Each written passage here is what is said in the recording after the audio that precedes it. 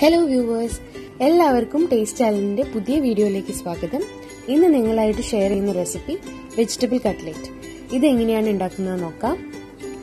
അപ്പോൾ ആദ്യം തന്നെ കുറച്ച് പച്ചക്കറികളൊക്കെ വേവിച്ചെടുക്കണം. ഇതിനു വേണ്ടി മൂന്ന് വലിയ ഉരുളക്കിഴങ്ങ് മുക്കാൽ ഗ്ലാസോളം ഗ്രീൻ പീസ് കുതിർത്തതാണ്. പിന്നെ ഒരു മീഡിയം സൈസ് ബീട്രൂട്ട് അതിന്റെ കൂടെ ഒരു ചെറിയ ക്യാരറ്റ് ചെറുതായിട്ട് അരിഞ്ഞത് ആദ്യം ഇത്രയും കാര്യങ്ങളൊന്ന് വേവിച്ചെടുക്കണം. കുക്കറിലാണെങ്കിൽ രണ്ട് വിസിൽ വരുന്നത് വരെ വേവിച്ചാൽ മതി. അപ്പം എല്ലാ കാര്യങ്ങളും കുക്കറിലേക്ക് ഇട്ട് കുറച്ച് വെള്ളം അര ഗ്ലാസോളം വെള്ളം ഒഴിച്ച് വേവിക്കാം. വെള്ളം ഒരുപാട് കൂടണ്ട. പാകത്തിന് ഉപ്പ് കൂടെ ചേർക്കാം. ഇനി ഇനിത് ജസ്റ്റ് ഒന്ന് മിക്സ് ചെയ്തിട്ട് രണ്ട് വിസിൽ വരുന്നത് വരെ വേവിച്ചെടുക്കാം. പച്ചക്കറിയൊക്കെ വെന്ത് വരുന്ന സമയം കൊണ്ട് കട്ട്ലറ്റ് മുക്കി പൊരിക്കാനുള്ള മാവ് റെഡിയാക്കാം. അപ്പം ഇതിനു വേണ്ടി മൂന്ന് ടേബിൾ സ്പൂൺ മൈദ. നിങ്ങൾ എത്ര കട്ട്ലറ്റ് ആണോ ഉണ്ടാക്കുന്നത് അതിനനുസരിച്ച് വേണം മൈദയുടെ ഈ മിക്സ് ഒക്കെ ഉണ്ടാക്കാൻ. ഞാനിപ്പോൾ മൂന്ന് ടേബിൾ സ്പൂൺ മൈദയിലേക്ക് അര ഗ്ലാസോളം വെള്ളം ഒഴിച്ചിട്ട് കട്ടയൊന്നുമില്ലാതെ നല്ലൊരു പേസ്റ്റ് ആക്കി എടുക്കുകയാണ്.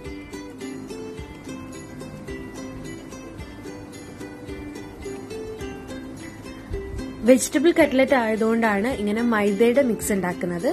അല്ലെങ്കിൽ മുട്ടയിൽ മുക്കി പൊരിച്ചാലും മതി. അപ്പം ഈ ഒരു പാകത്തിൽ ഇത് കലക്കി വെക്കാം ഇനി മസാല റെഡിയാക്കി എടുക്കാം. അതിനു വേണ്ടി ഒരു പാൻ വെച്ചിട്ടുണ്ട്. ഇതിലേക്ക് നാലഞ്ച് ടേബിൾ സ്പൂൺ എണ്ണ ഒഴിക്കാം. എണ്ണയൊന്ന് ചൂടായി വരുമ്പം ഇതിലേക്ക് ഒന്നൊന്നര ടേബിൾ സ്പൂൺ വെളുത്തുള്ളി ചതച്ചതും ഒരു മീഡിയം സൈസ് സവാള അല്ലെങ്കിൽ ഒരു ചെറിയ സവാള എടുത്താൽ മതി.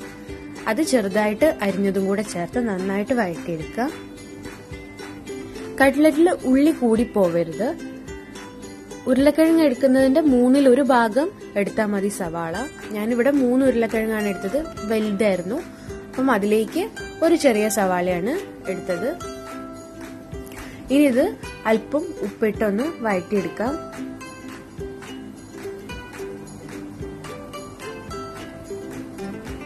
ഉപ്പ് കൂടാതെ ഇതിലേക്ക് ചേർക്കുന്നത് അര ടീസ്പൂൺ മഞ്ഞൾപ്പൊടി രണ്ട് ടീസ്പൂൺ മുളക് പൊടി.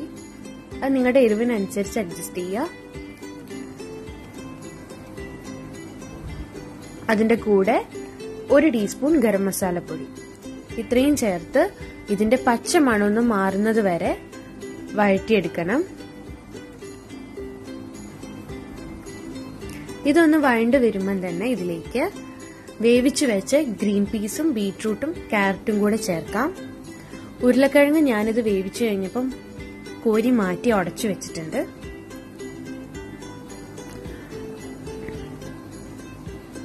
ആദ്യം ഇത്രയും കാര്യങ്ങൾ ചേർത്തിട്ട് ഇതിലുള്ള വെള്ളത്തിന്റെ അംശമൊക്കെ ഒന്ന് ഡ്രൈ ആയിക്കോട്ടെ.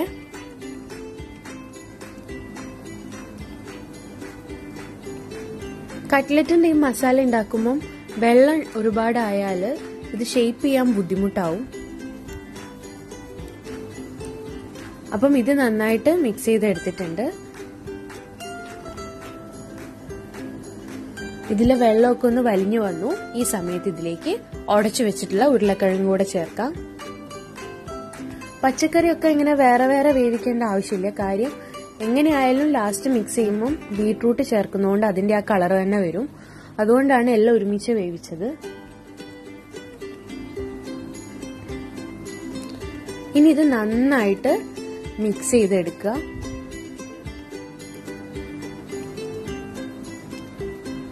ഇതിന്റെ വെള്ളമൊക്കെ എത്രത്തോളം വലിഞ്ഞു പോകുന്നോ അത്രയും നല്ലതാണ്.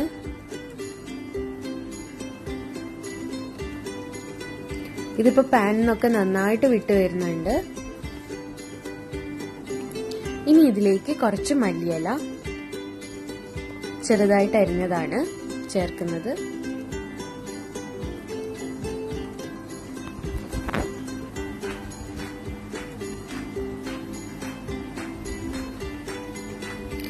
ഇനി ഈ സ്റ്റേജിൽ എരിവ് നോക്കിയിട്ട് കുറച്ച് കുരുമുളക് പൊടി കൂടെ ചേർത്ത് കൊടുക്കുക. ഞാൻ ഒരു ടീസ്പൂൺ കുരുമുളക് പൊടിയാണ് ചേർത്തത്. ഉപ്പും ഈ സമയത്ത് അഡ്ജസ്റ്റ് ചെയ്യാം. പിന്നെ നിങ്ങൾക്ക് താല്പര്യം ഉണ്ടെങ്കിൽ ഒരു ടേബിൾ സ്പൂൺ ചെറുനാരങ്ങയുടെ നീരും ഈ ലാസ്റ്റ് സ്റ്റേജിൽ ഒഴിച്ചു കൊടുത്താൽ നല്ലതാണ്. അപ്പൊ മസാലയ്ക്ക് തണുത്തിട്ടുണ്ട്. ഇത് ബ്രെഡ് കോട്ട് ചെയ്യാൻ വേണ്ടിയിട്ടുള്ള ബ്രെഡ് പൊടിയാണ്. അപ്പം ബ്രെഡ് പൊടിച്ചത് കുറച്ച് ഈ മസാലയിലേക്ക് ഇട്ട് അത് നന്നായിട്ടൊന്ന് മിക്സ് ചെയ്തെടുത്താൽ ഈ മസാല ഒന്ന് ടൈറ്റായിട്ട് വരും. അങ്ങനെ ടൈറ്റ് ആവുമ്പോൾ ഇത് ഷേപ്പ് ചെയ്യാനും സുഖമാണ് അതുപോലെ എണ്ണയിലിട്ട് പൊരിച്ചെടുക്കുമ്പോൾ പൊടിഞ്ഞു പോവില്ല. അപ്പൊ നിങ്ങളുടെ മസാലയിൽ എത്രത്തോളം നനവുണ്ട് അതിനനുസരിച്ചിട്ട് ബ്രെഡിന്റെ പൊടി ഇട്ടാൽ നല്ലതാണ്. അപ്പം ഞാൻ കുറച്ച് ബ്രെഡിന്റെ പൊടി ഇട്ട് നന്നായിട്ട് മിക്സ് ചെയ്ത് വെച്ചിട്ടുണ്ട്. ഇനി ഇത് ഷേപ്പ് ചെയ്യാൻ തുടങ്ങാം. കഴിയുന്നതും വെള്ളത്തിന്റെ അംശം ഇല്ലാതിരിക്കാൻ നോക്കുക.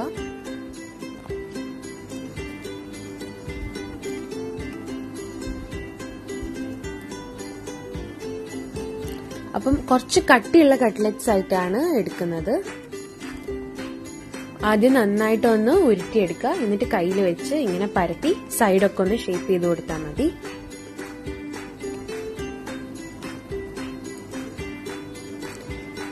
അങ്ങനെ എല്ലാ കട്ട്ലറ്റ്സും ഷേപ്പ് ചെയ്ത് എടുത്തിട്ടുണ്ട്.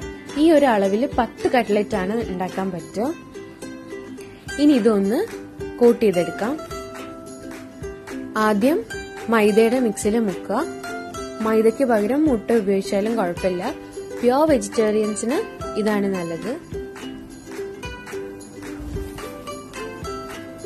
ഇനി ബ്രെഡിലിട്ടിട്ട് ഒന്ന് നന്നായിട്ട് കോട്ട് ചെയ്തെടുക്കുക എല്ലാ സൈഡും.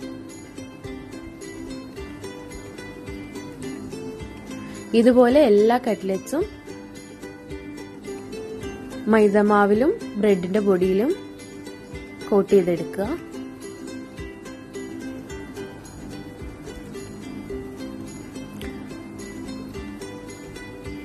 അപ്പം കട്ട്ലറ്റ് പൊടിഞ്ഞു പോകാതിരിക്കാനുള്ള ഒരു ടിപ്പാണ് മാവിൽ നനവ് കുറയ്ക്കാൻ വേണ്ടി കുറച്ച് ബ്രെഡിന്റെ പൊടി ഇടുന്നത്.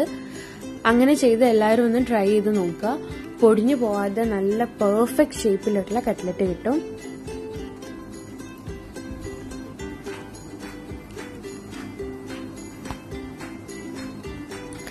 ഇനി ഒരു ചട്ടിയിൽ ആവശ്യത്തിനുള്ള എണ്ണ ഒഴിച്ച് നന്നായിട്ട് ചൂടാക്കി എടുക്കുക എണ്ണ നന്നായിട്ട് ചൂടായി വരുമ്പോൾ ഈ കോട്ട് ചെയ്ത് വെച്ചിട്ടുള്ള ഓരോ കട്ട്ലറ്റും ഇട്ട് നല്ല ഗോൾഡൻ കളർ അല്ലെങ്കിൽ കുറച്ച് ലൈറ്റ് ബ്രൗൺ കളർ ആവുന്നത് വരെ ഫ്രൈ ചെയ്തെടുക്കുക. ഉള്ളിലെ മസാലയൊക്കെ വെന്തതായതുകൊണ്ട് ഇത് ലോ ഫ്ലെയിമിലിട്ട് ചെയ്യേണ്ട ആവശ്യമൊന്നുമില്ല. മീഡിയം ടു ഹൈ ഫ്ലെയിമിലിട്ട് ചെയ്താൽ മതി. ഹൈ ഫ്ലെയിമിലിട്ട് ചെയ്യുമ്പോൾ ഇടയ്ക്കിടയ്ക്ക് തിരിച്ചും മറിച്ചും ഇട്ട് കൊടുത്ത് ചെയ്തുകൊണ്ടിരിക്കുക അങ്ങനെ ആവുമ്പം കരിഞ്ഞു പോവാതെ നല്ല കറക്റ്റ് കളറിൽ കിട്ടും.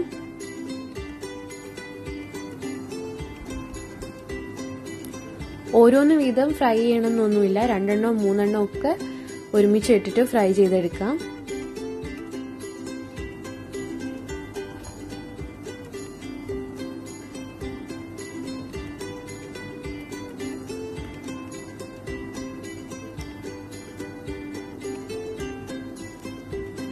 ഞാൻ മീഡിയം ടു ഹൈ ഫ്ലെയിമിൽ ഇട്ടിട്ട് തന്നെയാണ് ഫ്രൈ ചെയ്ത് എടുത്തത് കട്ട്ലറ്റ് പൊടിഞ്ഞു പോയിട്ടൊന്നുമില്ല. ഷേപ്പിനൊന്നും ഒരു മാറ്റവും സംഭവിച്ചിട്ടില്ല.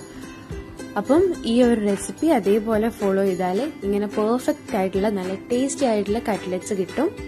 അപ്പം എല്ലാവരും ഈ റെസിപ്പി ട്രൈ ചെയ്യണം.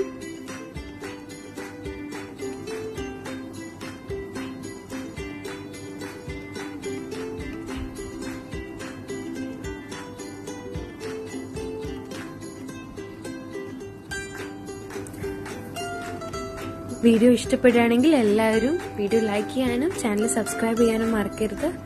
താങ്ക്